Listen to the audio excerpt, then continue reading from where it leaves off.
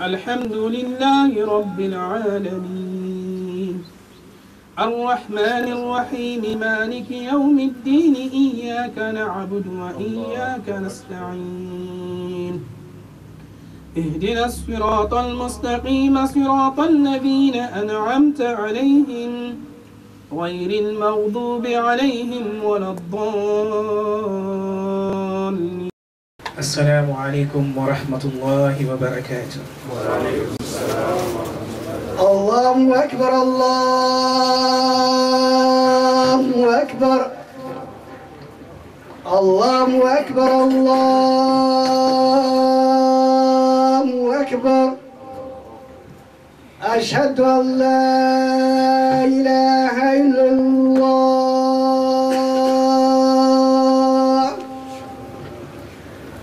أشهد أن لا إله إلا الله.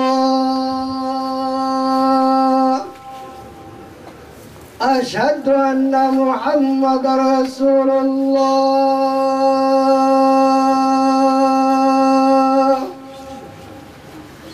أشهد أن محمد رسول الله.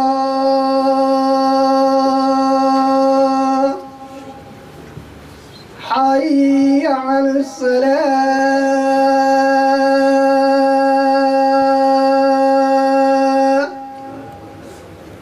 حي على الصلاة.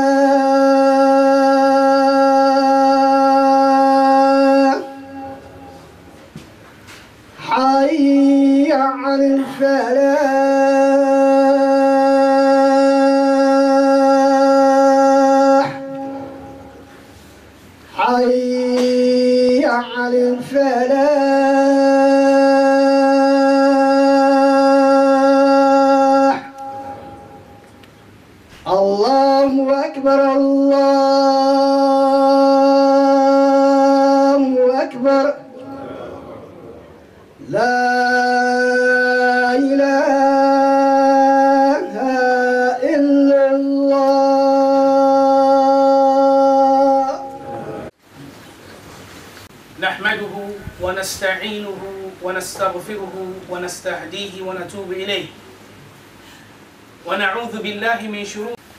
إن الحمد لله أنفسنا ومن سيئات أعمالنا.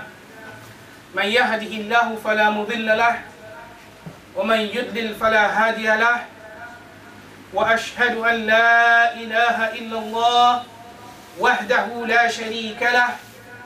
وأشهد أن سيدنا ونبينا وحبيبنا وقاعدنا محمدا عبده ورسوله. صلوات الله وسلامه عليه. وعلى آله وأصحابه ومن اهتدى بهديه واستنى بسنته إلى يوم الدين. أما بعد أيها المؤمنون أوصيكم ونفسي بتقوى الله عز وجل وصية الأولين والآخرين. يقول الله سبحانه وتعالى يا أيها الذين آمنوا اتقوا الله حق تقاته ولا تموتن إلا وأنتم مسلمون We praise Allah subhanahu wa ta'ala. We thank Him. We seek His forgiveness. And we ask Him for His divine guidance. May the peace and blessings of Allah be upon our beloved Prophet, our noble Prophet, our dearest Prophet Muhammad sallallahu alayhi wasallam. My dear brothers and sisters,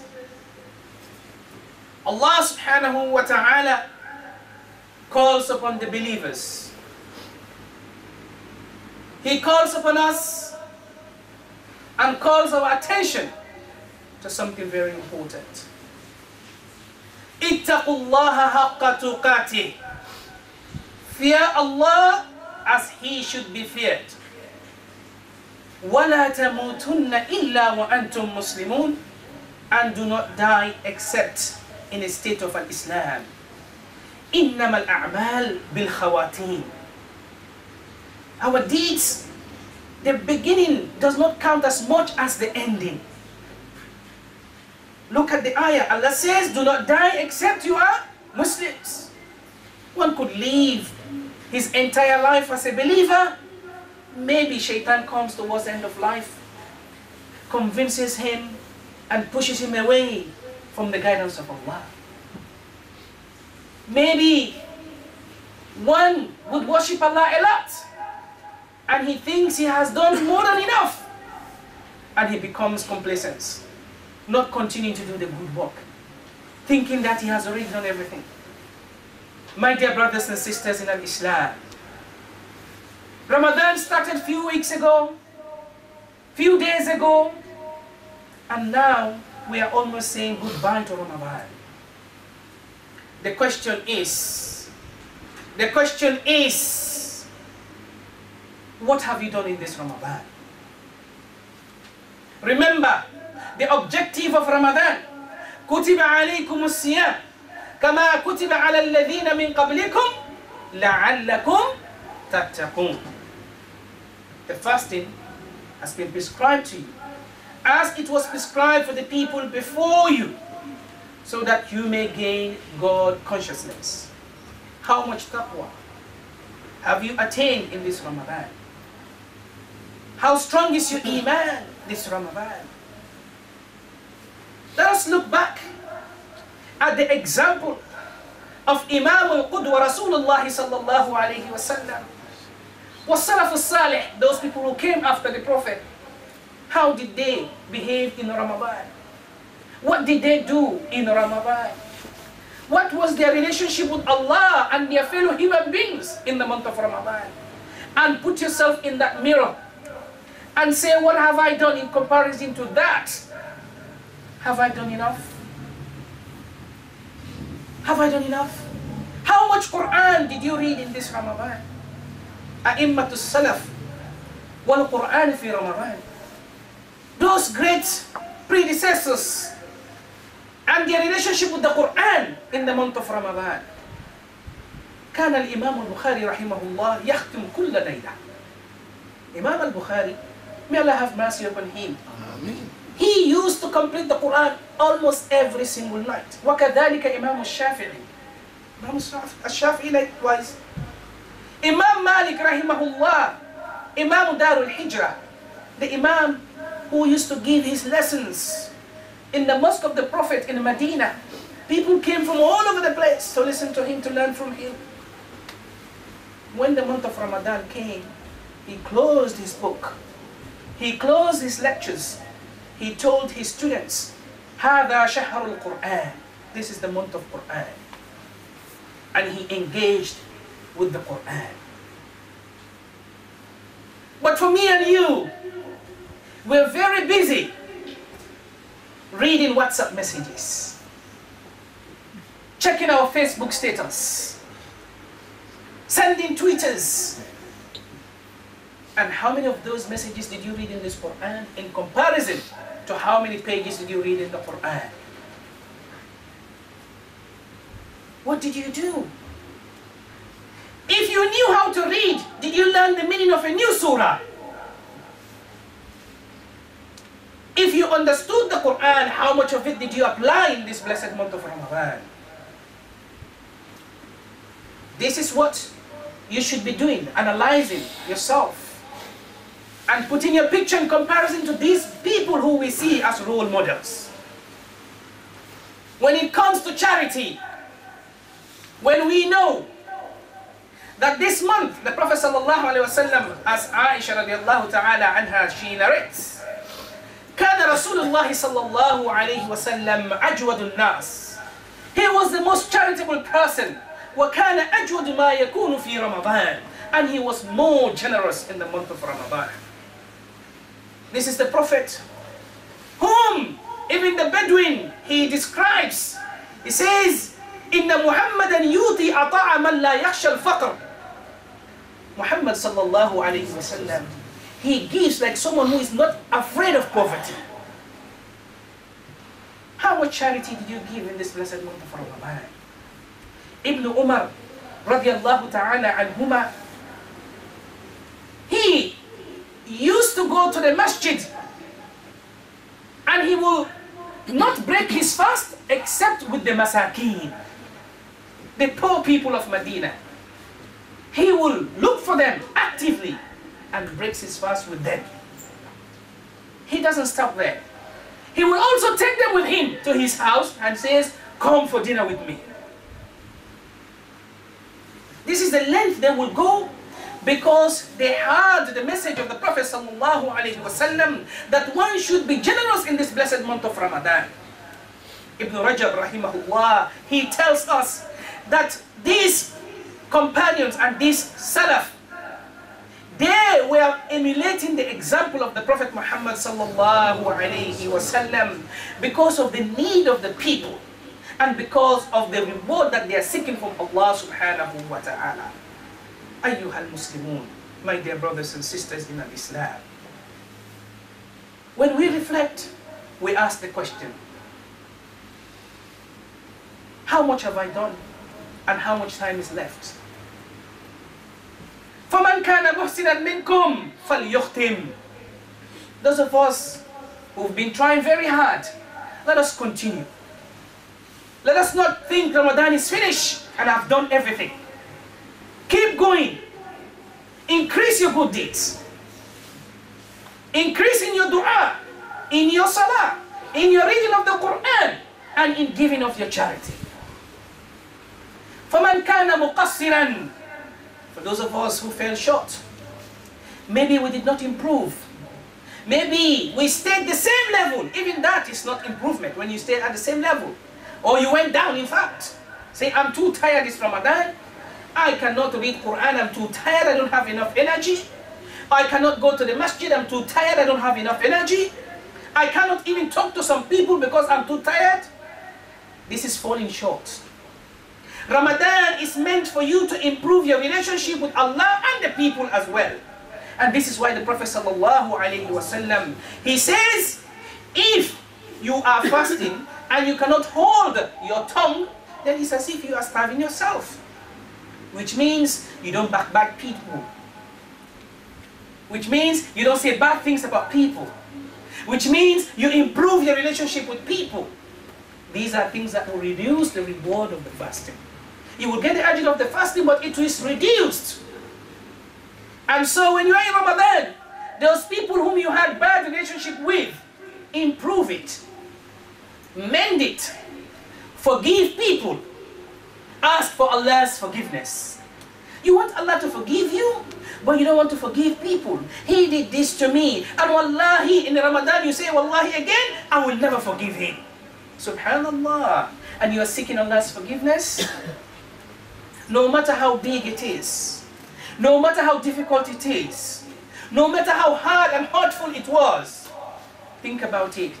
As this is a month of mercy, as this is a time for forgiveness, and this is a time to mend relationships, let go, forgive, and look for the reward from Allah subhanahu wa ta'ala. Make up that relationship, mend it, reach out to them, talk to them, seek their forgiveness, even if you did not wrong them. When someone seeks forgiveness from someone, it does not mean they are right. And it does not mean you are less of a person. It only means you are ready to get that reward from Allah for mending the relationship. It only means you are the one who wants to get to Jannah the most because you want Allah's mercy. So therefore, if we fall short about Allah, we should hasten to do the good things. We should try our best. One should never think I have done enough.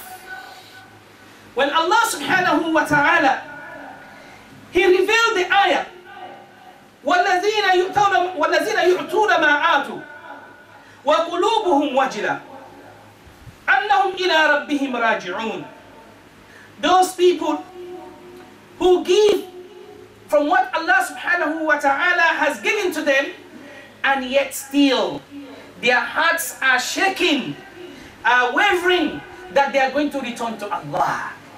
They are worried. They are doing good deeds. They are praying. They are fasting. They are giving charity. And yet still they are worried.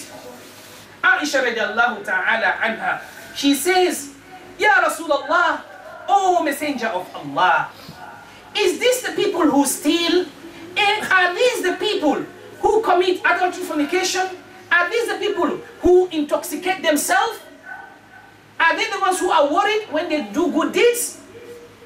The Prophet sallallahu alayhi wasallam he replied, Ya la ya bata siddiq. No, O daughter of a siddiq. These are the people who pray, who fast, who give charity, but yet still they are worried how if Allah is accepting good, these good deeds from them.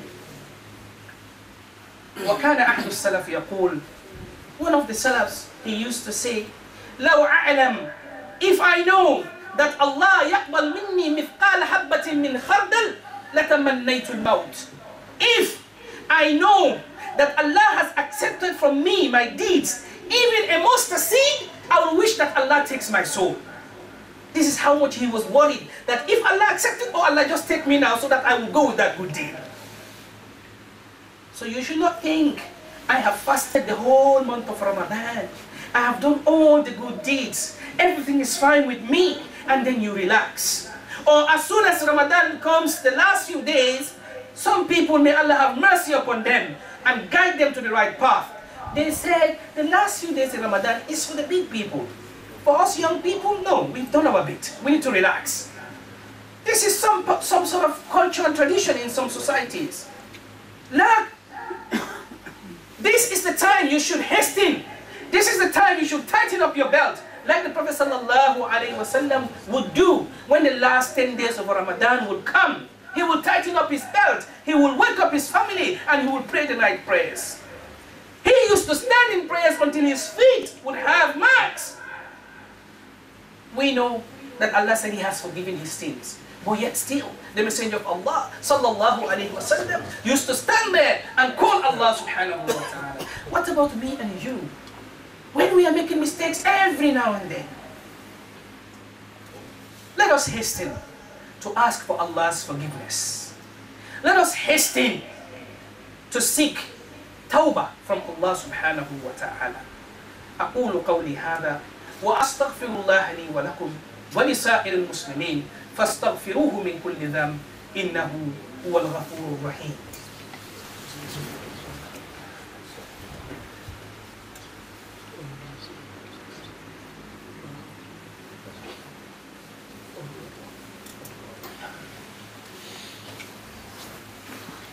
الحمد لله والصلاة والسلام على نبي المصطفى وعلى آله وأصحابه ومن اهتدى أما بعد أيها المسلمون My dear brothers and sisters in Islam As believers we never give up, we never lose hope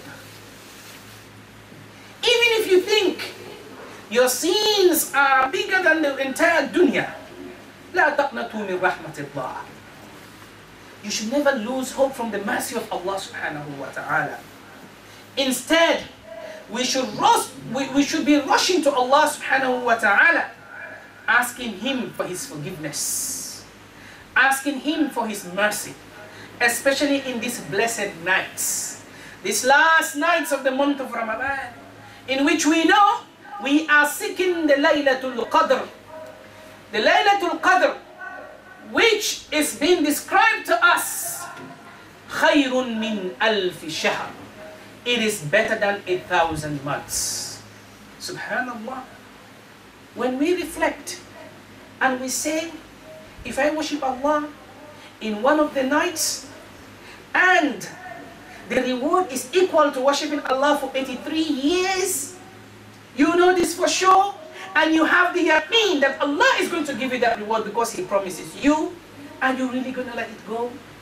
You might not even live for 83 years. But if you worship it right and you get that night right, subhanallah, that is the reward. Whatever you do, the reward is multiplied for you in this blessed month of Ramadan again. Subhanallah. But don't be misled. Laylatul Qadr is not just one night. You can't just say it is the 29th. it is the 27th, it is the 25th. La. Because the Prophet ﷺ has told us clearly that we should seek the Laylatul Qadr in the last 10 nights of Ramadan, in the odd nights of Ramadan.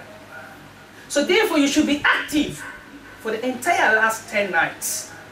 You can't just wait for one night and say, I've got Laylatul Qadr. You are looking for something valuable. You are looking for something which everybody wants. How can you relax and just wait for one night? How? You should be looking for it actively in every single night. Every single night. And then, when you do come to the night as well, subhanallah, it is not time for you to meet old friends. It is not time for you to come and socialize in the masjid. It is not time for you to come and tell stories to others This is the time that you are coming to say, Oh Allah, here I come seeking your forgiveness. This is the time when you want to join. Listen to what Allah subhanahu wa ta'ala says. تَتَنَزَّلُ الْمَلَائِكَةُ وَالرُّورُ The angels. So many of them. Allah did not give us numbers. But they will fill the earth from nightfall up to Fajr. Waruh, even the archangel himself, Jibreel alayhi salam, the one who revealed the Quran to the Prophet Muhammad sallallahu alayhi wasallam, he will also descend that night to be with the mu'mineen, the believers, who are turning to Allah subhanahu wa ta'ala in that night. Everybody is turning to Allah. How can you then afford to sit and talk? How can you then afford to sit and tell stories to others? In fact, even backbite at that time. Subhanallah. Or you think it is a time to make celebration. Kalla. You are wasting time. Every single minute of the night is valuable. Especially now we have very short nights. Very short nights. From the time you finish your Taraweeh prayers, and the time you sit down and say, I'm going to read some Quran, I'm going to make them dhikr, I'm going to pray some raka'at, it's already Fajr. So how can you sit down and talk? You should use that valuable time to worship Allah subhanallah. Subhanallah. Do not waste it. Do not waste it. Even if you just sit down and say subhanallah as much as you can. Like the Prophet sallallahu alaihi wasallam said to us, كلمتان خفيفتان على اللسان حبيبتان إلى الرحمن ثقيلتان في الميزان سبحان الله العظيم سبحان الله وبحمده Two words. They are very light on your tongue. They are very heavy on the scale. They are beloved to Allah subhanallah. Subhanallah wa bihamdi. Subhanallah al-azim. Even if this is what you said in your entire night. Subhanallah, you're doing something amazing. Or maybe go to the teachings of the Prophet again. When Aisha radiallahu ta'ala anha, she says to the Messenger of Allah, Ala Aita, tell me, O Messenger of Allah, لو أدركت ليلة القدر, ماذا أقول? If I was to witness the Laylatul Qadr, what should I say? The Prophet wasallam taught her the beautiful hadith, the beautiful dua. Say, Allahumma innaka afuun tuhibbul afwa fa'afu anni. Say this, Allahumma innaka afuun tuhibbul afwa fa'afu anni. Oh Allah, you like to pardon. And you are the one who pardons. Oh Allah, pardon me. It doesn't mean you have to wait again for this dua for the 27th night or the 29th night. Every single night, engage yourself in saying this dua. Engage yourself in making this dua. Every single night until Ramadan finishes. Because we do not know when is Laylatul Qadr. And so we want to be with the angels, with the Salihin. We want to be among those people whom Allah will send the salam. Salamun hiya hatta matla'il fajr. It is night full of peace and tranquility until the Fajr time. Until the Fajr time. Be part of that. Engage yourself. Call upon Allah. Call upon Allah. Make your dua in every single night. Call upon Allah subhanahu wa ta'ala. Who is here who does not need Allah? And who is here who does not have a problem that Allah needs to help him? You know that the last part of the night, Allah subhanahu wa ta'ala descends on the sama at dunya and he will call upon his servants and he would say, Hal min mustaghfirin fa astaghfirullah. Is there someone who is going to seek forgiveness and I will forgive them? Hal min sa'il. Is there someone who is going to ask so that I will give to them? This is every single night, every time. What about in the in the month of Ramadan? What about in the month of Ramadan? And what about in the last 10 nights of Ramadan? In fact, it becomes more important for us then to call Allah at these times. Make dua to Allah bil khushu. You call Allah subhanahu wa ta'ala, you know you are humble and with humility, asking someone who you know for sure is going to give you what you want. With no doubt. This is one of the conditions of dua that you should have in your at the back of your mind. That Allah gives. He has the means to give, and He will give to whomever He wishes. You should not be calling Allah and you are doubtful. You should not be calling Allah, you're not sure. You should believe in yourself that I am calling someone who can hear me, and someone who can respond to me, and someone who can give me what I want. And if he doesn't give it to me, no one else can give it to me. Allah subhanahu wa ta'ala says, Udu'uni astajib lakum. Call upon me and I shall respond to you all. May Allah subhanahu wa ta'ala accept our du'as in this blessed month of Ramadan. And may Allah subhanahu wa ta'ala accept all of our ibadat in this blessed month of Ramadan. May Allah subhanahu wa ta'ala accept our fasting. May He accept our prayers. May He accept our charity. And may Allah subhanahu wa ta'ala accept all of our good deeds. We ask Allah subhanahu wa ta'ala, those people who are sick, may Allah subhanahu wa ta'ala cure them. And those people who've gone beyond, may Allah have mercy upon them.